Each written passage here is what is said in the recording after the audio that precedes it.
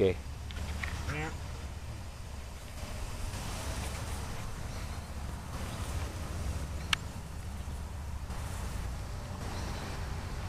Got a mouthful of grass that time. You see him.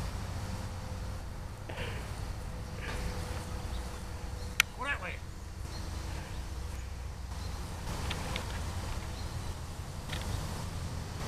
Oh, we caught him, huh? Got him. Got him by the leg. You're toast. No frogs were harmed in the video, making of this video. Except for that one.